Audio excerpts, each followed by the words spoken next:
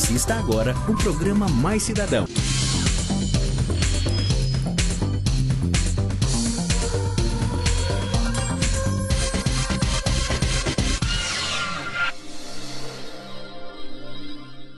Muito boa tarde, amigos e amigas do programa Mais Cidadão.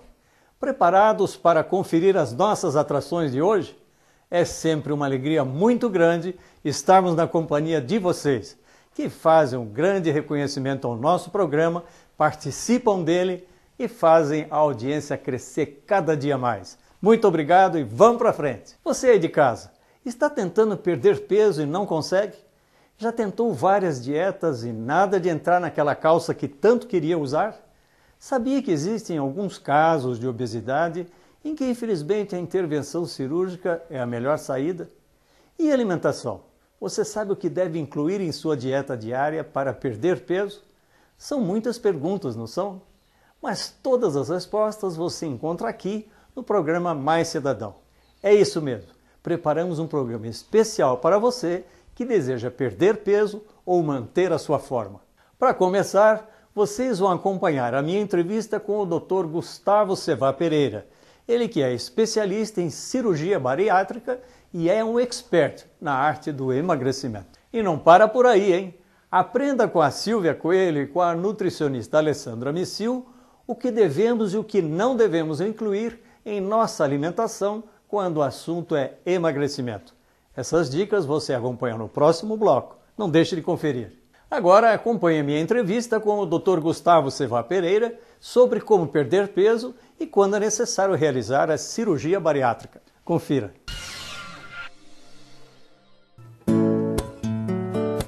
A busca pelo peso ideal vem se tornando um grande desafio para pessoas no mundo inteiro. Segundo dados da Organização Mundial de Saúde, em 2015, o mundo terá 2,3 bilhões de pessoas com excesso de peso e 700 milhões de obesos. Uma pesquisa realizada pelo IBGE aponta que no Brasil o número de pessoas com excesso de peso também vem crescendo. Em 1970, o índice era de 3,7%. Já em 2009, esse número passou para 21,7%. Preocupada com a situação, a Organização Mundial da Saúde aprovou um plano internacional para reduzir a obesidade mundial até o ano de 2020, visando mais saúde e bem-estar para todos.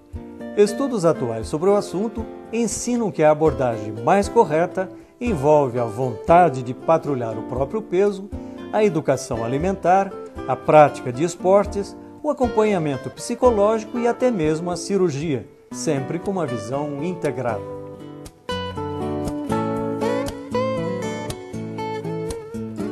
Bom, pessoal, estamos em pleno verão. Aquele calor, mar, praias, piscinas e muita gente tem ido nesses locais. As mulheres querem se sentir bem, os homens querem perder a barriguinha e por essa razão estão insistindo em fazer regime, se alimentar melhor e tal. Mas a vida moderna nem sempre permite isso. Nesses casos, o que fazer? Para tratar de todos esses assuntos, nós estamos aqui conversando com o meu amigo pessoal, Gustavo Sevá Pereira. Ele que tem uma clínica que trata das questões de aparelho digestivo e, em geral, também as questões de cirurgia que são recomendadas nos casos que ele vai falar para nós. Tudo bom, Gustavo? Tudo bem, Tudo Posso te tratar assim, Gustavo? ou tem que chamar doutor Imagina, Gustavo? Imagina, um prazer. O prazer é nosso. Se chamar doutor, eu chamo de professor. tá bom. Então eu queria te perguntar, a ansiedade, o estresse da vida moderna levam a pessoa a perder um pouco esse controle e sair fora da alimentação saudável? Eu acho que é, é uma situação que dá para escrever um compêndio, né? Então, a vida moderna, na verdade, ela é uma vida de trabalho. Quanto é, cada dia se exige mais que as pessoas trabalhem. Quanto mais a pessoa trabalha, mais ela quer uma, uma compensação. Então a gente estava até conversando agora há pouco, chega em casa e fala, pô, eu mereço passar um pouquinho do ponto. Ou chega no happy hour, né? E chega, eu mereço passar um pouquinho. Ou então chega em casa cansado e não quer cozinhar. E o que, que é fácil comer? Fácil é fast food, é comida congelada. É difícil, né? É difícil. Você vai, na, vai na, no varejão, compra verdura, depois tem que lavar em casa, aí você compra o bife, depois tem que fritar, tem que passar é, limpar o fogão, aí o marido passa na, no chão da cozinha, leva a gordura para o quarto. Então é, dá trabalho isso. Né? A gente é, tem que trabalhar essa questão da, da ansiedade da pessoa, porque uhum. se ela sai fora de uma alimentação saudável, é porque ela não está conseguindo encontrar um equilíbrio na alimentação, é isso? Eu acho que mais do que o equilíbrio na alimentação é um equilíbrio em geral. Não é só na alimentação. A alimentação é, um, é uma maneira de escapar, é uma maneira de, de manifestar a ansiedade. Sim, a ansiedade tem tudo a ver com, com o descontrole alimentar. É, se formos pensar bem, nós seres humanos, ou todos os animais, vivemos em busca do prazer. E quando nós estamos ansiosos, angustiados, a gente precisa mais de alguma coisa boa que compense essa nossa frustração. O mecanismo para isso são todos aqueles hormônios, a serotonina, aquelas coisas todas que a gente gosta de, eu costumo ouvir falar. Mas a verdade é que um indivíduo ansioso, ele vai ter um descontrole alimentar, ou comendo mais, o que acontece com alguns gordinhos, ou não se alimentando, como acontece com, os, com as pessoas que têm anorexia.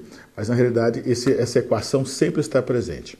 Então, como a gente pode controlar isso? É fundamental que as pessoas procurem estar bem, porque quando a gente não está bem emocionalmente, a gente vai ter não só problemas com a alimentação, mas no lado da alimentação e de todas as outras áreas da vida pessoal. Eu queria saber o seguinte: quais são as classificações? O índice de massa corporal, o que, que ele é e como que ele responde de alguma forma a essas questões de classificação? E quais são os índices que levam a pessoa a estar num estado normal, de massa corporal e aqueles que começam a entrar na obesidade e qual é o índice que aí já leva para uma decisão cirúrgica? É, o índice de massa corporal ele é um índice que ele foi criado para realmente se classificar objetivamente o que, que é obesidade, o que, que é um sujeito saudável, sobrepeso e tal. Então a conta é assim, peso dividido por altura vezes altura. Então peso dividido por altura ao quadrado. Essa é uma conta que ela é muito ela é muito objetiva, ela, ela permite que se divida a, a, a população, ou, a, ou, quem quiser, é, num nível de abaixo do peso, normal, sobrepeso, obeso grau 1, grau 2, grau 3. Certo. Então, até 25, considerado peso normal. É nós, por exemplo, né? Provavelmente. até 25, considerado peso normal. 25 a 30, é, sobrepeso. 30 a 35, obesidade leve. 35 a 40, moderada e acima de 40 obesidade grau 3 ou severa ou mórbida. Certo. Então acima de 40 é aquele ponto onde tá o tratamento ele muda.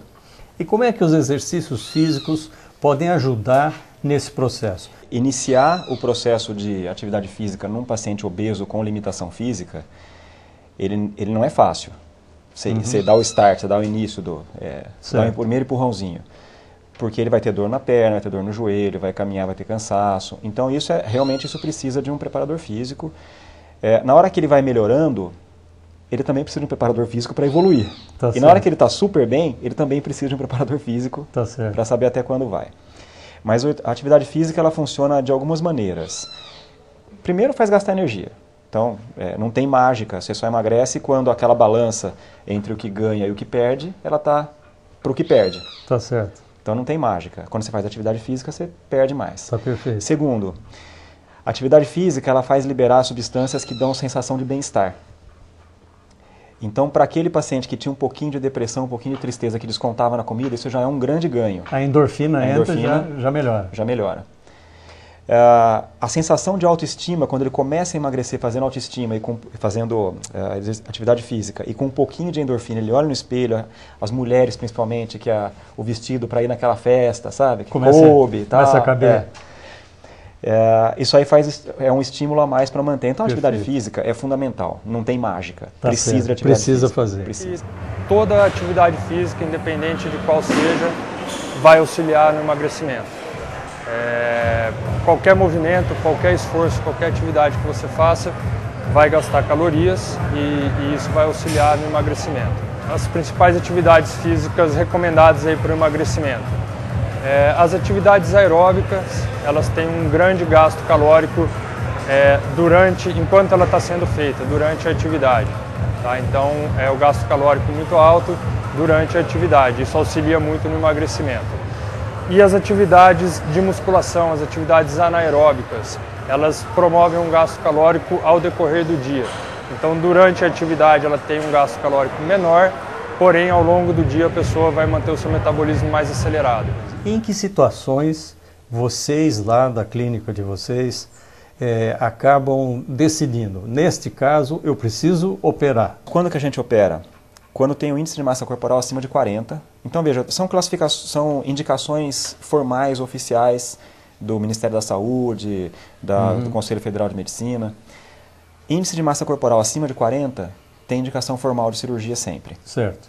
Acima de 35, entre 35 e 40, você tem uma indicação de cirurgia desde que o paciente tenha doenças que estão associadas. Entendi. Então, pressão alta, diabetes, artrose no joelho, hernia de disco, que são associados à obesidade. E que, e que voltar à obesidade, é, diminuir a obesidade, traz a doença para trás. Tá certo.